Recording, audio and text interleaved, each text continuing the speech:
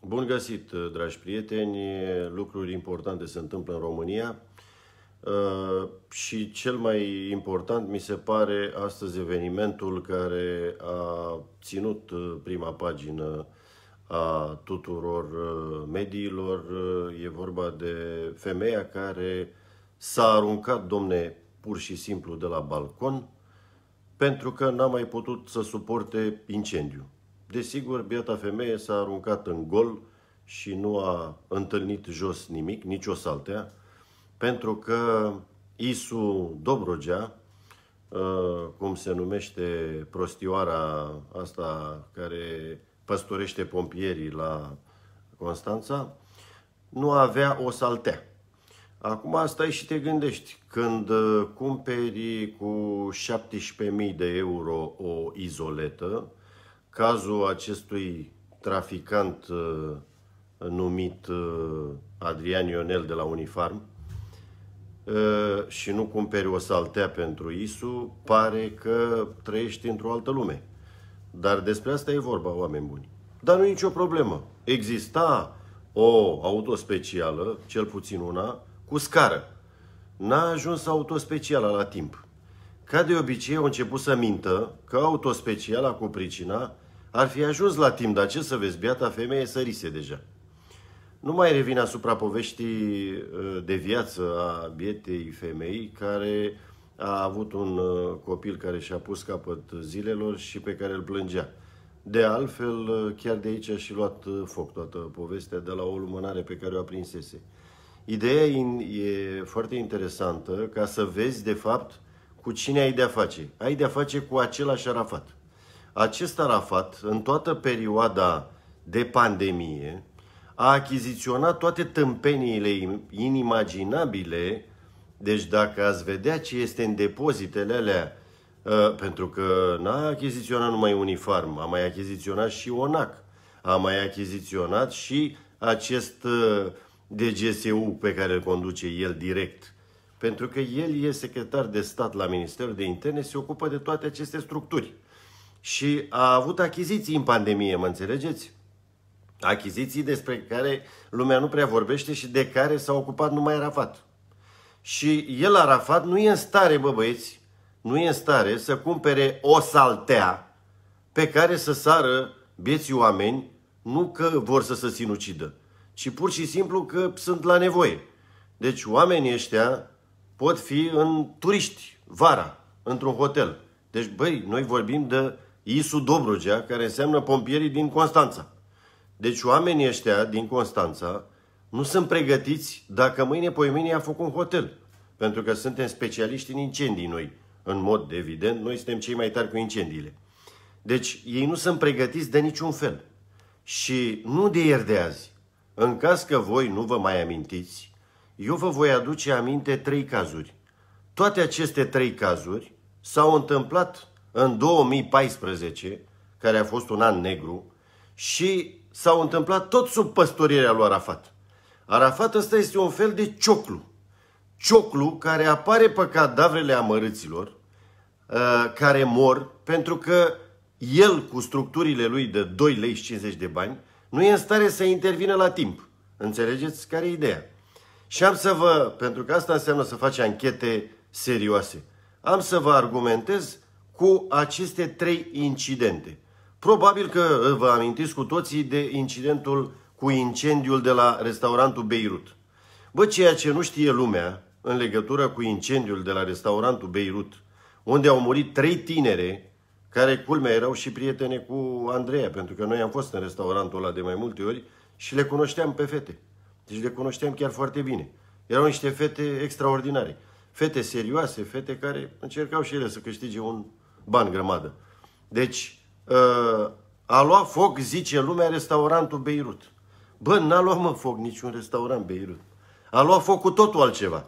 A luat foc un pub, care se numea Legendary Pub, în care avea loc un mare concert de rock și unde erau cuplate trei aeroterme neautorizate. O aerotermă era cuplată într-un tablou care tablou fusese executat neautorizat și era pe peretele vestiarului unde se schimbau fetele. Nu știe nimeni treaba asta.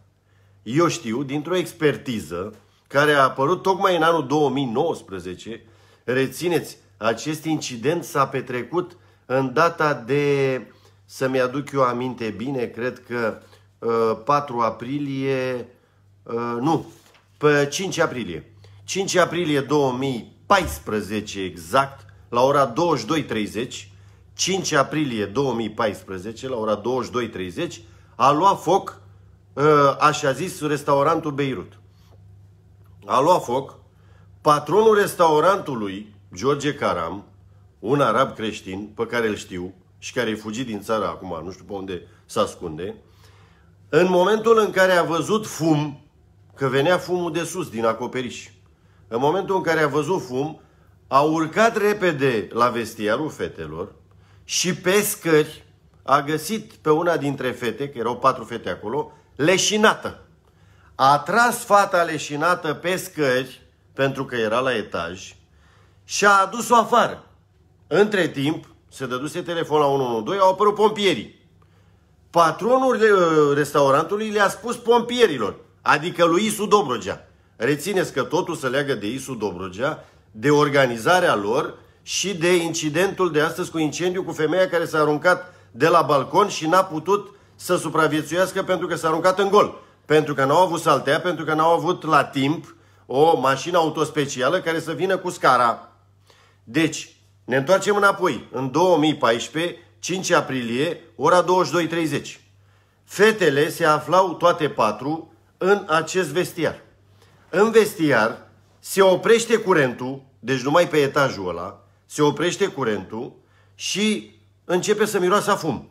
Da? În vestiar. Jos la restaurant toată lumea își desfășura activitatea bine mersi. În bucătărie, la fel, toată lumea își desfășura activitatea bine mersi. O să vedeți de ce e importantă chestia asta cu bucătărie.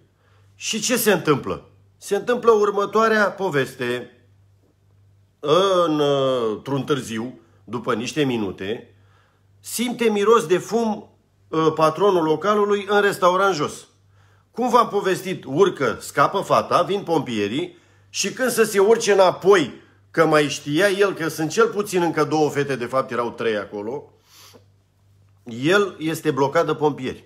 Și pompierii spun așa, domnul George, nu mai urcați dumneavoastră sus, că ne ducem noi. Și cine mai e acolo? Păi mai sunt cel puțin două fete. Uite, pe fata asta am adus-o eu jos. A adus-o pe fată, a luat-o ambulanța, astăzi fata este bine mersi. Nu are nici măcar cicatrici pe față, nu este arsă, doar undeva pe gât aici avea o cicatrice, în fine. Este mulțumită, fericită și își trăiește viața în continuare. Celelalte trei fete care erau în vestiar, care vestiar deja fumega, probabil că acolo era un fum de neimaginat, rămân acolo că nu mai lasă pe patron pompierii, că ei nu poate să lase domne la incendiu pe oricine să facă vreo, uh, știu eu, explicație, să le explice cum e acolo, uh, ce camere sunt cu tare, că ei sunt deștepți, ei știu exact. Bă, băieți, ce credeți voi că se întâmplă? Nu se duc, bă, pompierii în vestiarul ăla și fetele ard și se fac bietele de ele varză acolo, le găsesc după ore întregi carbonizate. Mă întreb eu dacă atunci era lăsat patronul localului să-i ghideze pe pompieri, că nu era decât niște fum, nu era chiar în momentul în care el salvează prima fată ceva extraordinar. Nu cumva puteau fi salvate toate trei? Nu știu, e o supoziție, dar e bazată pe un fapt real, și anume că el a reușit să salveze una dintre fete. Celelalte trei au murit săracele de ele, Dumnezeu să-l ierte. Acum, pompierii niciodată n-au dat cu subsemnatul și nimeni nu i-a acuzat pe ei că fetele alea au murit cumva și din cauza faptului că au întârziat intervenția. Sau că nu le-au găsit de incompetenți ce sunt.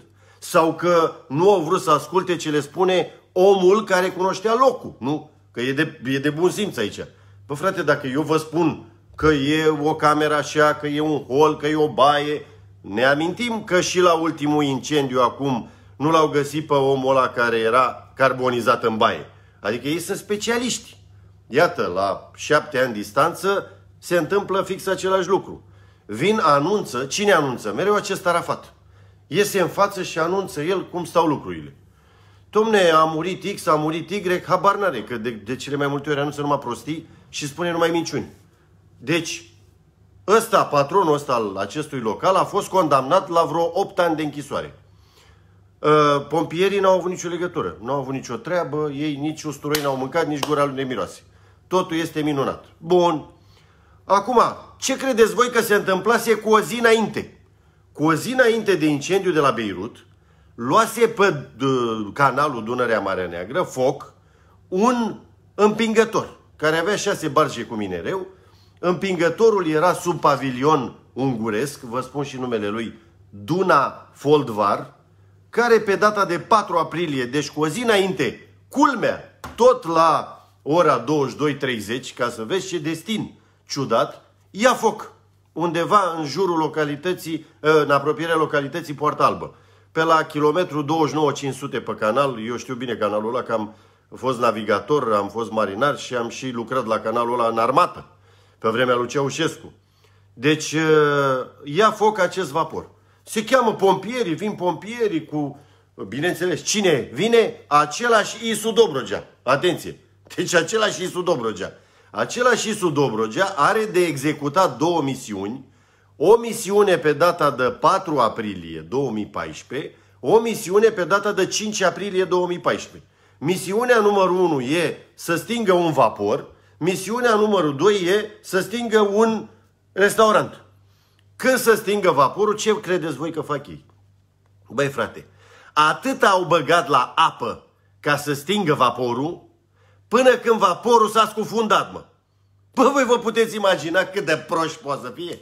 Bă, deci ei n-au nicio legătură cu logica, mă. Adică ei sunt chemați acolo și în loc să folosească de pildă spumă, ei folosesc apă. Folosind apă pe vapor, care vapor se află pe canal, adică în apă, normal că, exact ei, stai că aveam o frază cheie pe aici, uh, ca urmare a intervenției, împingătorul s-a îngreunat și s-a scufundat. Vă puteți imagina? Deci, în data de 4 aprilie 2014, ei ce fac? Ei pur și simplu scufundă un vapor încercând să-l stingă. În data de 5 aprilie 2014, ei ce fac din nou? Sting un uh, restaurant, care cică arsese el, dar de fapt uh, expertiza a arătat cât se poate declar că focul a plecat de la Legendary Pub, care era un alt uh, pub, un club lipit de restaurantul ăsta, da? dar nu s-a mai luat în considerare prin instanțe, prin nu știu ce. Până la urmă l-a condamnat numai pe ăsta, pe patronul de la, pe George Caram, pe patronul de la Uh, și a rămas el ca un asasin al fetelor. Înțelegeți? Care a fost treaba. Deci, în prima intervenție, scufundă vaporul încercând să-l uh, stingă. Deci, bietul vapor n-a murit, între ghilimele, de incendiu, a murit scufundat. Adică e incredibil așa ceva. Și în a doua intervenție, sting incendiu, sting. S-a ales praful de tot uh, restaurantul ăla și au pe conștiință trei fete care mor. Bun. O să ziceți, domne, o coincidență nefericită, nu știu ce. În ambele situații, cine apare? Arafatul, care ne explică el cum totul este bine și totul e ok și asta e ce să facem. Dar ce să vedeți? Nu se termină bine anul, că prin luna noiembrie, Consiliul Județean Constanța, care cumpărase în 2013 un uh, elicopter, donează acest elicopter, îl trece la smurt. Adică unde? La Arafat. Uh, ia elicopterul respectiv Arafat și la prima misiune pe care o face, elicopterul se prăbușește în ghiol, în lacul pe care cu toții îl vedeți, la Constanța. Este un lac acolo lângă uh, Mamaia, care se întinde pe o suprafață enormă, se scufundă practic se prăbușește în ghiol și se scufundă acolo. Oamenii de la fața locului, asta s-a întâmplat uh, uh, pe 15 decembrie. Da, pe 15 decembrie 2014, uh, oamenii de la fața locului spuneau așa, la 16 și 11 s-a petrecut uh, incidentul. Oamenii spuneau așa că membrii echipajului uh, țipau de pe elicopter care uh, a ieșit la suprafață după ce s-a prăbușit, a ieșit la suprafață imediat și țipau acolo, ținându-se și ei ca pe Titanic cumva, să agățau de elicopter și țipau ca să citez, ajutați-ne că înghețăm. Băi, deci ajutați-ne că înghețăm. Țipau oamenii vii, da? Deci erau patru oameni în elicopter când s-a prăbușit. Era pilotul, copilotul, un medic, Laura Vizireanu și uh, o asistentă. Care asistenta, culmea, era și însărcinată, oameni buni. Deci toți acești patru oameni au murit. Dar se putea evita această chestiune. De ce și cum? Păi, foarte simplu. Amețiții de la Isu Dobrogea, același Isu Dobrogea, același care a intervenit la uh, vaporul pe care l-a scufundat încercând să-l stingă, același care a uh, rezolvat uh, restaurantul Beirut și n-a găsit fetele să le scoată din foc și au murit săracele carbonizate și asfixiate, același care vine acum cică să salveze uh, acest personal care era în elicopter. Și ce credeți că fac ei? Băi, ei vin cu o barcă cu vâsle, mă. Deci, noi cheltuim sume enorme cu acești indivizi, uh, le dăm salariile, că ei își riscă viața, ei sunt eroi de linia întâi, ei vin acolo și fac drag și nu știu ce, așa, se antrenează, deci ca să intervină repede, nu? La orice fel de incident care apare. Și ei vin cu o barcă, deci ei, cu, uh, când s-a dat telefon la 112, la 16 și 11 minute, domne, s-a prăbușit un elicopter în ghiol.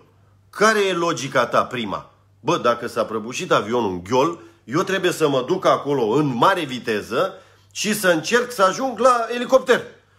Și ce îmi trebuie? Îmi trebuie o barcă cu motor, de bun simț, nu? Ei să duc o barcă cu vâsle, mă. Și oamenii care erau acolo la fața locului, auzind țipetele amărâților care se prăbușiseră, bă, vă dați seama ce noroc să ai totuși. Adică te prăbușești cu elicopterul în ghiol și totuși trăiești. Și trăiești și ești perfect conștient, iar apa din ghiol avea 2 grade Celsius. Practic ei au murit de hipotermie, nu de lovitura cu uh, elicopterul în ghiol, vă dați seama. Deci avea 2 grade Celsius apa. Și țipau, ajutați-ne, ajutați-ne că înghețăm. Păi frate, deci nu aveam personal calificat, nu a ajuns la timp acolo, nu a acționat la timp și singura care a putut fi salvată pentru câteva ore practic a fost medicul uh, care era o femeie tânără, 38-39 de ani, Laura Vizireanu, pe care, atenție, a luat-o un pescar. Rețineți acest aspect. Deci un pescar a ajuns la epava elicopterului acolo, a preluat-o pe doctoriță, pe medic, și a dus-o la mal și a predat-o echipajelor de ambulanță, care au resuscitat-o și femeia a avut zile, oameni buni.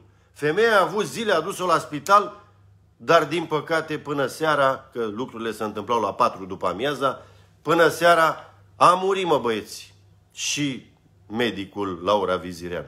Deci, iată o altă acțiune super inteligentă și super interesantă a aceluiași Arafat cu marele lui departament de situații de urgență, direcție, ce căcat e. Deci, ăsta după care, cine apare? Același Arafat. Apare să ne spună cum s-a prăbușit elicopterul, cum elicopterul avea revizia la zi, cum uh, totul era perfect și că nu-și explică ce s-a întâmplat, cum au acționat toți salvatorii și au venit și au recuperat victimele. Păi le-au recuperat moarte, că ore întregi au căutat pe acolo din cauza faptului că n-au intervenit la timp. Pescarul ăla a amărât, bă frate. Când a auzit, s-a dus și a luat barca. Bă, ce înseamnă și românul, mă. Bă, românul, asta înseamnă, bă, patriotism în țara asta. Românul ăla când a auzit, bă, frate, ajutați-ne că înghețăm. A văzut cum a venit, bă, parcă era o zeneu în durerea mea. A venit la cu elicopterul, s-a prăbușit în ghiol și în câteva momente a ieșit uh, la suprafață epava și după aia oamenii, ajutați-ne că înghețăm. Păi la 2 grade, vă puteți imagina ce era acolo? La 2 grade Celsius. Ajutați-ne că înghețăm, că nu știu ce. Omul a luat barca, s-a urcat în barcă, s-a dus direct acolo. A luat-o pe femeie și a dus-o la mal. Între timp apar și amărâții de la Isu. Barcă cu vâsle. Păi băi, să prăbușise elicopterul tocmai în mijlocul ghiolului. Tu cu barcă cu vâsle vrei să ajungi și să-i salvezi pe amărâții aia, mă? Bă, câtă nesimțire, mă! Câtă porcărie, mă! Ce s-a schimbat, mă, din 2014 până astăzi? Câte s-au schimbat? V-am dat trei incidente, toate s-au petrecut în 2014, unele o, o zi după alta, cum a fost cazul în 4 și 5 aprilie 2014 și unul s-a întâmplat, iată, pe 15 decembrie, elicopterul prăbușit, pentru care cine a fost pedepsit, mă? Păi, a uh, început imediat un dosar și la sfârșitul poveștii toată lumea a fost absolvită de orice vină. Deci toată lumea n-a avut nimeni nicio treabă. Pe cum mă n-are nimeni nicio treabă, mă? Bă, oamenii au murit acolo, mă. Bă, oamenii ăia trebuiau salvați, nu? Noi plătim ISU, ISU Dobrogea. Uite ce aventuri face ISU Dobrogea. Și acum ajungem în ziua de astăzi, când o femeie săraca se aruncă de la balcon că nu mai putea să respire acolo. Unde putea să se ducă? Nu putea să respire, era blocată în balcon, n-avea ce să facă. S-a aruncat de la balcon. De ce nu a supraviețuit această femeie? Isu Dobrogea nu are, frate, niciun fel de saltea.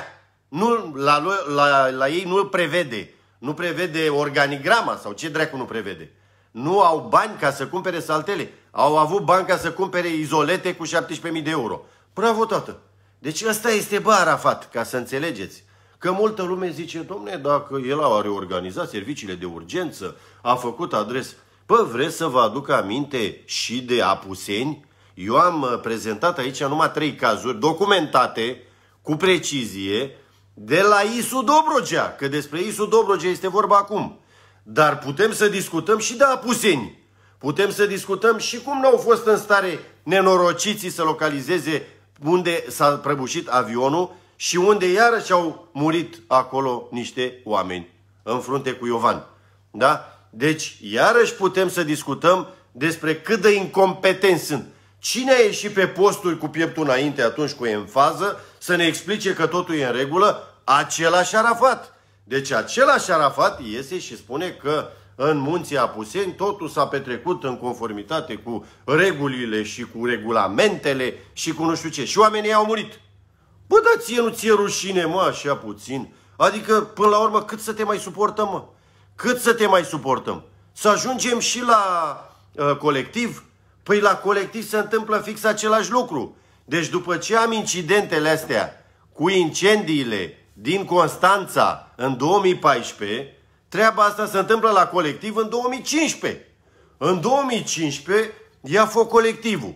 Cine a fost să constate că acum vine bomba de presă, cine a fost să constate la colectiv, la Piatra Neamț, la Balș și la uh, uh, acest restaurant, Beirut, uh, cum s-a derulat această problemă. Specialiștii de la Insemex, bă, specialiștii ăștia de la Insemex sunt atât de periculoși și atât de tari și atât de șmecheri, că au dat în cazul respectiv al restaurantului de la Beirut cea mai proastă expertiză imaginabilă. Habar n-au avut pe ce lume trăiau și au spus că focul ăla a pornit de la cuptorul de pâine. Care cuptorul de pâine era la șapte metri și ceva de unde începuse de fapt focul. Dar n-au văzut tabloul și n-au văzut că tablou electric improvizat din partea elaltă, care era Uh, pus pe partea cealaltă a peretelui vestiarului unde se aflau fetele care au murit, arse, și n-au văzut nici că din tabloul respectiv pleca o aerotermă care a fost incandescentă, deci a fost supraîncălzită și aia a generat un scurt circuit. Și n-au observat nici logica lucrurilor, anume că în momentul în care a apărut fum în restaurantul Beirut, practic în restaurantul Beirut era uh, erau câteva persoane, iar din pubul Legendary Pub fuseseră evacuate deja 100 și ceva de persoane. Semn că de fapt de acolo era problema, ca să ne înțelegem foarte bine. Deci, oameni buni, situația este cât se poate de evidentă. Deci, Insemexul ăsta, da? Insemexul ăsta face niște expertize extraordinare. Cu cine s-a lucrat pe aceste cazuri? Cu cine s-a lucrat la restaurantul Beirut? Cu cine s-a lucrat și acum la Piatra Neamț? Și cu cine s-a lucrat la colectiv? Cu același procuror. Procurorul Ilie. Bă, frate, procurorul Ilie colectiv stă cu un dosar colectiv 2 de 3 ani și nu face nimic în el. Și procurorul Ilie este același care a închetat cazul Beirut. Și procurorul Ilie este același care se ocupă acum de Piatra Neamț. Bă, ăsta de ce e pus acolo? E pus cumva să îngroape toate incendiile astea și să dea tot felul de chestii ciudate? Aici e o șmecherie. E o șmecherie de interesant, uh, interesantă de studiat și de anchetat cu adevărat.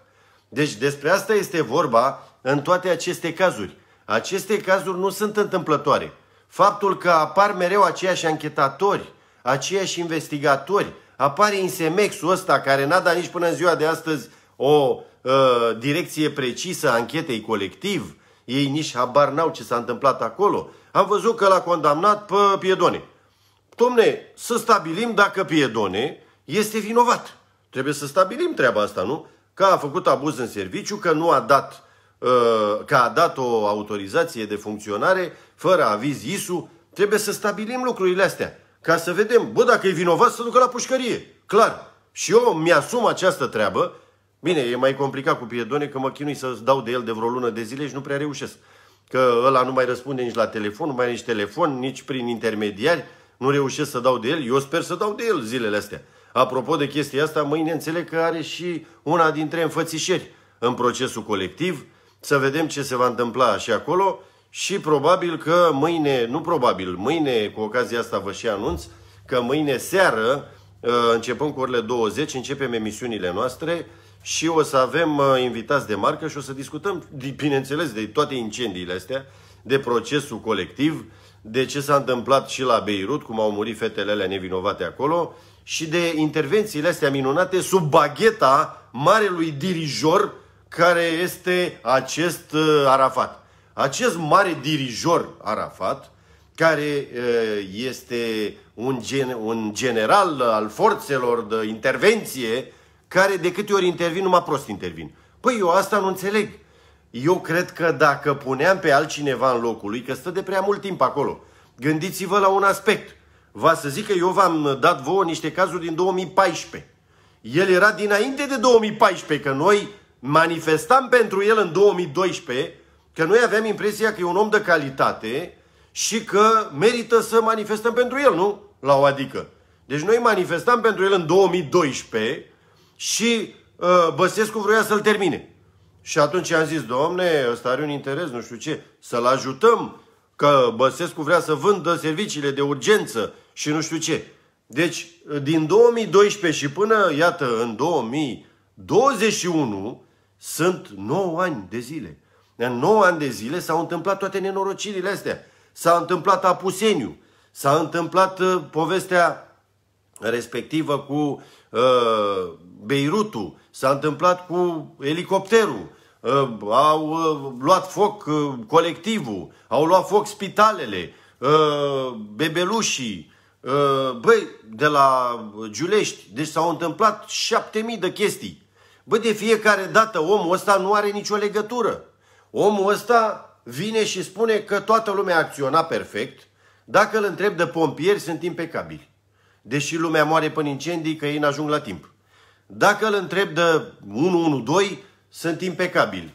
Deși cretinii ăia care sunt puși acolo, vă dați seama, ați văzut acum iarăși un nou incident la 112 cu o nesimțită care se lua de bieții oameni care spuneau că au un copil care avea o sângerare și așa mai departe, nu intru în detalii. Dar cât tupeu să ai la 112 să-ți bagi joc de oameni după ce am avut incidentul cu Alexandra.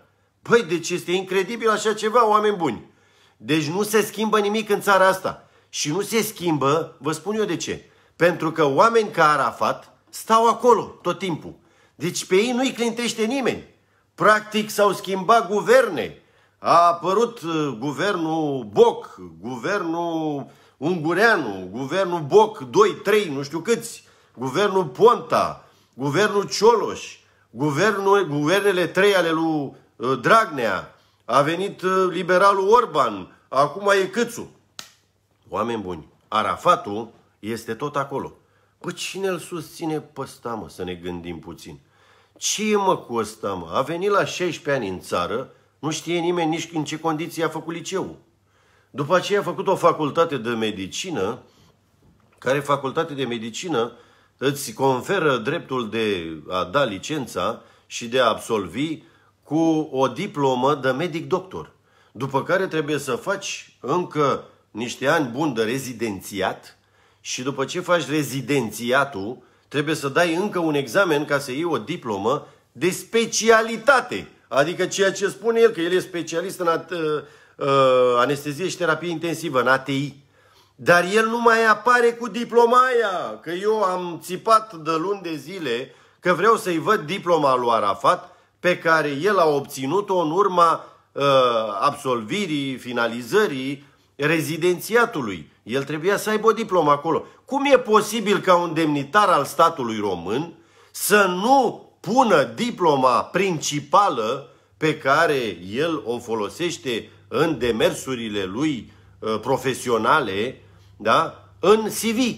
De ce nu apare un CV oficial care este pe site în care ar trebui să fie această diplomă și această diplomă nu este? Uitați-vă toți pe uh, CV-ul lui Arafat să vedeți că nu găsiți diploma aia. Băi, deci nu se poate așa ceva.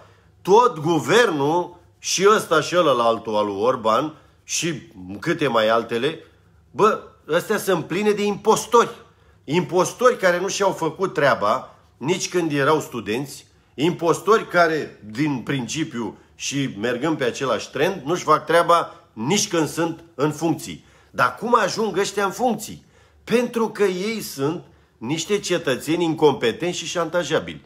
Și ăsta și-a creat o aură, o legendă, e, e legendat, cum se spune în servicii, e legendat. Și-a creat o aură, așa, o legendă, că vezi, Doamne, el ar fi un mare specialist, că el știe, că el face, că... Păi luați, mă, băieți toate cazurile, mă. Luați, mă, Isu Dobrogea să vedeți ce dezastru e acolo, de ani de zile, mă. Și care dezastru a culminat astăzi cu această porcărie, cu biata femeie care s-a aruncat de la etaj neavând nicio posibilitate, nicio altă posibilitate să treacă prin tot apartamentul, prin foc și prin fum. Uite, n-a avut curaj. A avut mai mult curaj să se arunce de la balcon, biata femeie. Îți dai seama, momentele alea de disperare. Ai tot felul de gânduri în cap, știu eu. Uh, nu m-am aflat într-o situație din asta cu incendiu sau... M-am aflat în alte situații de uh, naufragiu cu vaporul, de alte povești. Știu cum e, dar depinde acum. Era o femeie amărâtă, vai de capul ei săraca. Deci, ideea este că în aceste condiții noi trebuie să schimbăm după proverbul românesc. Peștele de la cap să împute, frate. Că tot timpul apare câte unul. Dar ce vină are Arafat că se întâmplă nu știu ce? Pare toată vina. Pentru că el are capacitatea și are, ar trebui să aibă obiectivul precis să pună în funcție cei mai buni oameni. Să intervină și să fie atent la toate aceste acțiuni, cum se derulează ele și să tragă învățămintele necesare din aceste întâmplări. Ia să vedem ce învățăminte a tras el din 2010 încoace de la incendiu de la Giulești. Niciuna. Ce învățăminte a tras el și ce a reorganizat el și ce a refăcut el și ce a reconfigurat el și ce a schimbat el după incendiul de la Beirut din Constanța. Da, după ce au scufundat vaporul, probabil că aici la vapor ar fi înțeles. Bă băieți, când un vapor arde, ar fi de preferat să acționăm cu spumă mai curând decât cu apă. Că poate așa îl stingem, cine știe. Dacă nu, ori nu îl stingem, ori îl îngropăm cu totul și îl băgăm sub apă. Deci, ce-o fi învățat el de la uh, incidentul de la colectiv? Nu prea văd ce a învățat el de la colectiv și am să vă spun și de ce. Pentru că după ce au uh, murit oamenii ăștia în spitale carbonizați, deci acum e din ce în ce mai grav. La colectiv era un club care nu respecta niște norme, pentru care trebuie să dea socoteală niște oameni. Nici în ziua de astăzi n-a dat nimeni socoteală în treburile astea. Ok? Au trecut șase ani aproape. Ia uite, asta, anul ăsta în noiembrie, în octombrie, noiembrie, să fac șase ani de la incidentul colectiv. Nimeni n-a dat niciun fel de uh, socoteală. Bun, acum eu vin și întreb. Ce învățăminte ai tras tu de la colectiv, băi, șoricele? Dihorule, ce învățăminte ai tras tu de acolo? Dacă atunci când ia foc Piatra Neamțu, uh, ard acolo niște oameni, da? Și după aia pe unii transferi. Ăia pe care îi transferi mor și ăia. Deci, în mod evident, tu nu ești în stare să pui între paranteze situația și să o rezolvi. Nu. No. Dar n-ai tras învățăminte nici de la incendiu de la colectiv, n-ai tras învățăminte nici de la incendiu de la Piatra Neamț. Vine incendiu de la Balș. Ce părere aveți? La Balș e și mai grav. Adică toți oamenii ăia care au fost acolo sunt într-o postură foarte delicată, în sensul că mor cinci întâi, mă rog, el zicea că inițial au murit trei, că nu-l găsise pe unul care săracul era în baie, vă dați seama, așa, și mor inițial 5 și până la urmă numărul morților ajunge la 20. De ce? Din aceleași pricini. Dar ce învățăminte a tras el de la moartea lui Stanoevici Bogdan, amicul nostru? Ce învățăminte a tras? Omul ăsta care a, dus, a ajuns în spital cu COVID și care, de fapt, a murit de uh, infecții nozocomiale. Ce învățăminte s-au tras din asta? Ce învățăminte s-au tras din moartea lui Condrea? Condrea, vă reamintesc, patronul Hexifarma, caz pe care de asemenea l-am anchetat, care este mort în condiții suspecte, care a fost de fapt lichidat, și care, până la urmă, vreau să spun un singur lucru despre el. Era un tip care era conexat cu serviciile, care dilua dezinfectanții, care dezinfectanți nu și-au mai făcut treaba pe în spitale fiind diluați, adică erau inutili, și din cauza aceasta o groază de oameni au murit. Bun, acum, uh, printre ei s-au aflat și acești uh, oameni de la uh, colectiv. Deci mai mulți oameni sau ceva oarecum egal au murit ulterior celor care au ars în colectiv, de la arsuri, dar nu de la arsuri. Aia era doar o, să zicem, cauză secundară. Bieții oameni au murit de la infecții nozocomiale. Și acum să pune problema oamenii ăștia care mor Uh, de exemplu, au murit 5 la balci carbonizați și după aia au mai, au mai murit încă 15. Acești 15 uh, oameni, vreți să vă spun eu de ce zic ei că au murit? Ei zic că au murit din cauza că aveau COVID. Că din cauza că aveau COVID se aflau acolo. Dar ei, de fapt, mor din cauza întregului eșafodaj de situații la care au fost supuși. Adică mai întâi au avut COVID, dacă or fi avut, în fine. Pentru că avem uh, cazul uh, uh, fetei doamnei Păvăloai de doar patru ani de zile, despre care s-a spus că fetița ar fi murit de COVID și când i-a făcut acest necropsia, s-a constatat că nu avea niciun COVID în plămâni. Deci sunt sătul eu de chestii de genul ăsta. Sunt foarte familiarizat cu șmecheriile pe care le fac ei. Dar nu e nicio problemă, mergem înainte. Ideea este că eu asta e întrebarea pe care am pus-o la început și cu asta vreau să și termin. Deci întrebarea de bază este fix asta. Ce a învățat Arafat din toate aceste incidente și cum a modificat el serviciul de urgență, cum a contribuit el, iată, la tot ceea ce se întâmplă în această țară și cu ce a ajutat. A ajutat cu faptul că a ajuns să controleze tot, să facă el achiziții și să dicteze continuu noi și noi și noi stări de alertă care sunt neconstituționale ca să poată să achiziționeze în continuare fără licitații fel de fel de asemenea dezinfectanți, măști neconforme, multe dintre ele, pentru care încă n-a dat nimeni niciun fel de socoteală. Dar uh, Hideg ăla care a fugit uh, cu avionul în uh, Dubai, el nu are de gând să explice ce a încărcat el cu SRI-ul la coada avionului, în avionul ăla care venise de la Paris și s-a dus direct în Dubai, că nu mi-e foarte clar așa cum să petrec lucrurile. Deci nu e în ordine ce se întâmplă cu toate șmecheriile astea pe care el le patronează. Și nu e în ordine. Iată, pe dosarul colectiv 2, unde se analizează fix treaba asta, Arafat a fost audiat.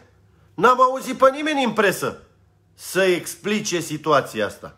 N-am auzit pe nimeni în presă să ne spună că procurorul ăsta, Eduard Ilie, este în dosarul colectiv, este în dosar, a fost în dosarul uh, incendiului de la Constanța, a restaurantului Beirut și este acum și la Piatra Neamț. N-am auzit pe nimeni să observe peste tot treburile astea și să le aducă la cunoștința publicului. De ce îl tot puneți voi pe ăsta, care nu duce treaba la bun sfârșit și condamnă, ă, face rechizitorii prin care solicită judecătorilor să condamne lumea aiurea? El neștiind pe ce lume trăiește nici câte urechi are în cap. De ce se întâmplă lucrurile astea? Trebuie să aflăm, nu? La un moment dat. Pentru că noi riscăm să nu fim atenți la ce se întâmplă în jurul nostru și în jurul nostru se întâmplă tot felul de porcării și iată că mai sunt vreo câțiva care zic că, domne, orice se întâmplă în țară nu e Arafat de vină. Nu e Arafat de vină? Niciodată? Nu? Oh, e regulă, mă. Dacă voi vă imaginați că se schimbă nu știu câte șapte guverne din 2010 uh, până în 2021 și un singur om rămâne întotdeauna pe funcție și asta este o chestie normală, înseamnă că, fraților, ne pare rău, este un individ care niciodată n-a participat la vreun scrutin electoral, care niciodată n-a cerut validarea publicului, care niciodată nu a fost ales, dar care întotdeauna este numit de către toată lumea și rămâne acolo pe funcție. Nu vi se pare ciudat? Și că e de, din cauză că e competent el. El e competent, am înțeles. Deci, bă, tu ești competent, dar observăm cum ai intervenit în toate aceste cazuri enumerate de mine. Și astea sunt doar cele mai cunoscute, cele mai mediatizate, dar sunt mai multe cazuri de genul ăsta. Sunt și alte incendii care au avut loc, chiar în Constanța, și care au fost uh, stinse sau au avut noroc pomperii că n-au avut victime pe acolo, pentru că erau goale sau lucruri de genul ăsta. Să ne amintim de incendiile de la Bambu, Păi, da la bambu, ă, echipa de pază a lui Joshua a scos afară respectivii oameni din club și i-a salvat. Nu că a venit Isu sau nu știu cine sau Arafat și i-a ajutat. Observați cu atenție că de fiecare dată când se întâmplă ceva bun, se întâmplă din afara sistemului. Adică întâi și întâi avionul din Apuseni nu a fost găsit de Bisu, de acolo, ăla care trebuia să intervină la timp. Nu, că ăia nu înțelegeau în care județie. Și era Isu Dracu cu Isu Lacu și cu Isu Lumăsa. Și nu știau care să intervină și 112 nici nu știa unde să afla avionul. Și atunci, bă, niște localnici de acolo s-au dus și i-au găsit pe oameni. Deci nu Isu, nu tata mare, nu localizarea, nu 112, nu frecție la picior de lemn. Altcineva, niște localnici niște oameni simpli, ca mine, ca voi. Deci ăștia i-au găsit, măi, oameni buni. Deci atunci când a fost vorba cu, tocmai v-am povestit cu elicopterul, singura femeie care putea fi salvată și care n-a mai putut fi salvată că procedurile de resuscitare, hipotermia, ă, condițiile respective nu au mai fost ă, până la urmă, nu e așa, favorabile, a fost salvată de un pescar nu de Isu care venise cu barca cu vâsle. Păi despre ce vorbim, bă, oameni buni, mă? Bă, nu se poate așa ceva, mă. Deci, la incendiu de la Beirut, singura persoană care a fost salvată, o fată din patru, a fost salvată de patronul localului, nu de pompieri, care l-au blocat pe om ca să nu le salveze și pe celelalte. Vedeți voi care e șmecheria? Deci tot timpul când se observă lucrurile astea, practic, se observă clar că, de fapt, oamenii între ei se ajută. Până când vin ăștia, vorba aia, până la Dumnezeu te mănâncă sfinții. Până când vin ăștia să facă ei ceva, să au venit și au împrăștia pe caldarâm pe vieții oameni arși. Și când era vorba, papagalul ăla de Bănicioiu și cu Ponta și cu toți papagalii ăștia, când era vorba să-i trimită urgent în Belgia, în Israel, în alte țări, care puteau să aibă vorba aia, tot suportul și să salveze oamenii, a apărut papagalul ăla de Bănicioiu. Nu, că noi avem de toate, noi știm, noi facem, noi suntem cei mai tari. Ce aveai, mă, tu, prăpăditule? A venit Voiculescu. A venit Voiculescu, actualul ministru. A venit Voiculescu după colectiv. Păi când vii după colectiv, tu știi ce ai de făcut, nu? A stat un an de zile. A stat un an de zile, deci se presupune că el știa ce avea de făcut. Împreună cu același Arafat, care rămânea în funcție, da? Și la guvernul ăla. Și amândoi puteau să ia măsuri. Bă, frate, hai să vedem aici. Cum a fost la Spitalul de Arș, cum a fost la Floreasca, cum a fost la Blascăr acolo, cu tare nu știu ce, că au dosare, că facă drept. Băi, ce ați făcut? Au făcut pe drecu. Acum când a fost cazul cu Balșu, ce au făcut, mă, nene? Păi dacă au murit 15 oameni, după ce muriseră 5 doar, deci de 3 ori mai mult, total 20. Mă aștept în orice zi să mai aflu că a mai murit încă un om, încă doi. Deci este o tragedie, este o tragedie în derulare, un genocid în derulare. În derulare. De câte ori are loc o acțiune din asta cu incendiu, cu nu știu ce, cu intervenția, ISU, dracu, lacu, nu știu ce, bă, numai chixuri. Deci numai chixuri. Dacă le iei pe rând și le observi așa cum fac eu, la ora de, la ce oră a venit? La 16 și 11 a avut uh, apel la 112. La 16 și 30 ajung ei acolo cu barca cu uh, vâsle, cum am zis în cazul cu elicopterul prăbușit. Păi deci astea sunt niște lucruri care nu pot să dureze la infinit, mă. Păi, e un moment, am văzut că a apărut uh, amărâtul ăla de Simion cu 15 inși că se duce el să ceară demisia lui Voiculescu. După aia s-a dat la fund. A dispărut din peisaj. Păi ce ai făcut, mă, nene?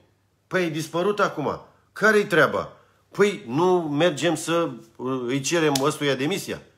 Uh, mai mult decât atât, omul nu are nici studii. La fel ca toți ceilalți, un alt impostor a venit cu chestia aia, cu fițuica aia de uh, că a făcut el un an în nu știu câți ani și să-i echivaleze și lui cu o întreagă facultate de 4 ani, de 5 ani, de 6 ani, de cât, de cât ar fi fost facultatea. Păi cum să se întâmple mai așa ceva? În ce țară din, de pe planeta asta se poate întâmpla așa ceva? Niciodată nu se întâmplă așa ceva. Nimeni nu anchetează, nimeni nu are nicio treabă.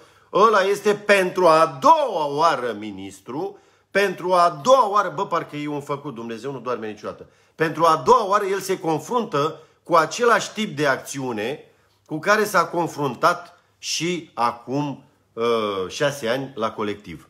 Pentru a doua oară, habar n-are ce să facă, pentru a doua oară nu e pregătit și pentru a nu știu câta oară puteți observa că din 2015 încoace a venit uh, același papagal ăsta, Voiculescu, a stat un an, după care, de proști a guvernat amețitul la de Cioloș, care ar mai vrea să vezi președinte prin 2024. Asta ne-ar mai lipsi. Așa, deci au urmat alți patru ani. Patru ani cu patru guverne. A venit uh, Grindeanu, Tudose, Dăncilă și Orban.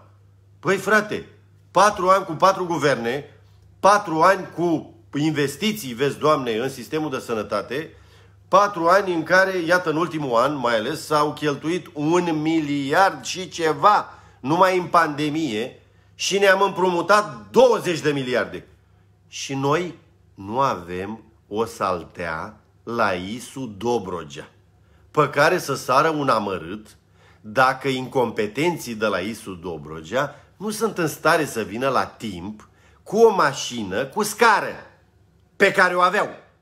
Deci n-au fost în stare să vină la timp cu mașina cu scară pe care o aveau, dar nu au nici uh, această saltea. Că e o saltea gonflabilă, care imediat ai aruncat-o acolo, piu, i-ai dat drumul, s-a umflat instant și persoana respectivă, după cum ați văzut probabil prin atâtea filme, poate să sară de la aproape orice etaj. Ce mare etaj avem noi! Adică biata femeie era la etajul 6-7. Uh, de acolo, de prin America, să sară de la etajul 15, 20, 30 și totuși e în siguranță. La noi nu, noi nu avem o saltea. Cât costă, mă, o saltea? Costa mai mult de 17.000 cât ați dat pe o izoletă? Nu știu, cred că nu.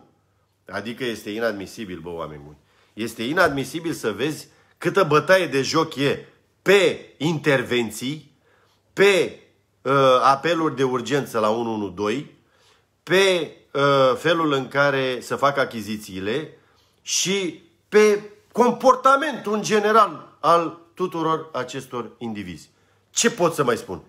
Ce pot să mai spun în asemenea situații? Nu-ți rămâne decât să te uiți prostit de cu ce oameni poți să ai de-a face.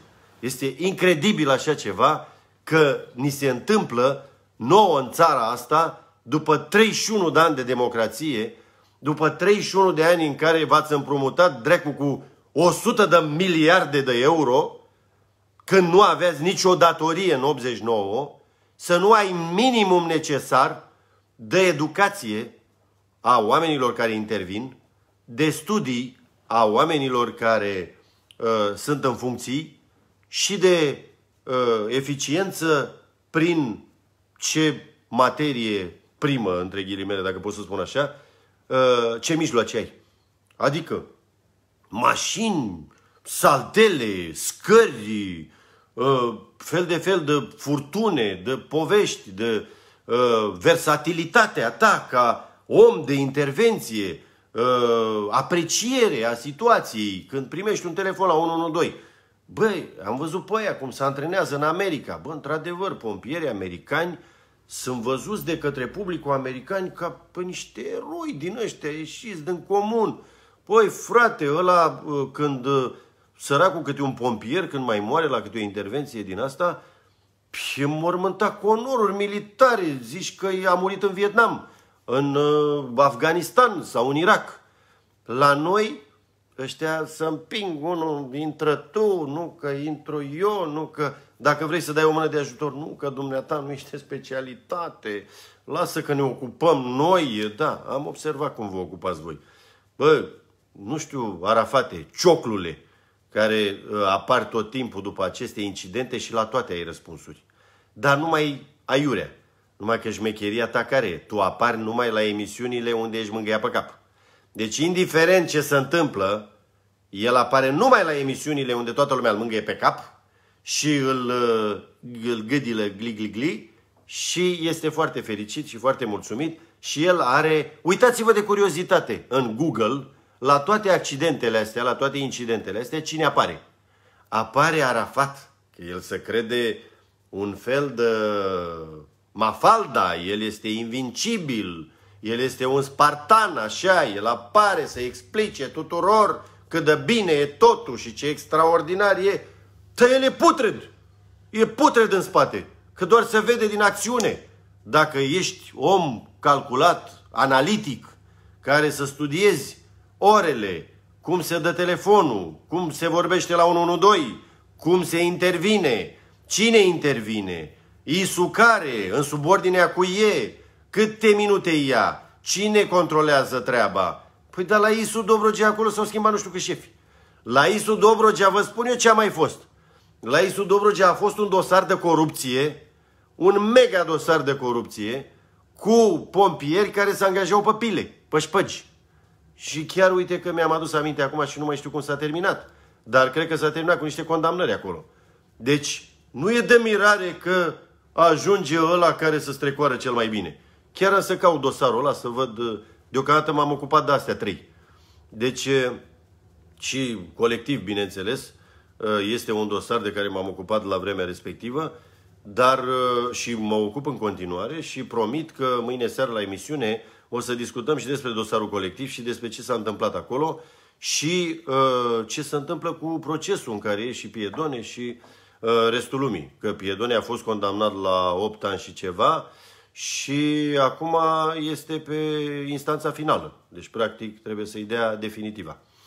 Așa că, dragilor, uh, mie îmi pare bine că v-am uh, uh, vorbit astăzi. Uh, la ora 23 o să ne vedem și pe România TV. Mâine de la ora 20 pe Inedit TV și aici pe Facebook. Și uh, continuăm uh, acțiunile noastre în Patria.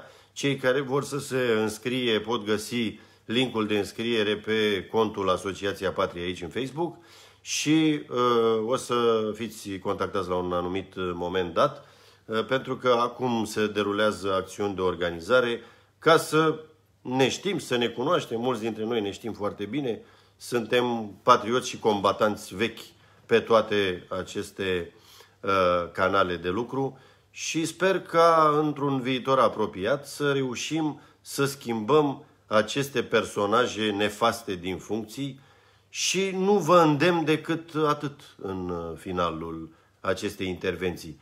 Să aveți grijă de voi că altcineva cine să aibă, unu, și doi, gândiți oameni buni cu mintea voastră, cu creierul vostru, nu vă mai lăsați influențați. Este, nu ca pe vremuri, acum e simplu în Google să dai o căutare și să vezi tot felul de articole pe același subiect, și dacă ai spirit analitic, vei putea să tragi din mai multe articole cronologia și uh, explicația unui eveniment și să tragi niște concluzii corecte și pertinente și uitați-vă la istoricul ăsta al acestui individ și o să vedeți că am dreptate. El e peste tot, el e tot timpul, dar nu anunță niciodată ceva bun. El este un cioclu, el vine cu necrologul, mereu. Dar toată lumea a acționat perfect. Uh, cu alte cuvinte, operația reușită, pacientul mort. Vă pup și ne vedem curând. Ora 23, România TV.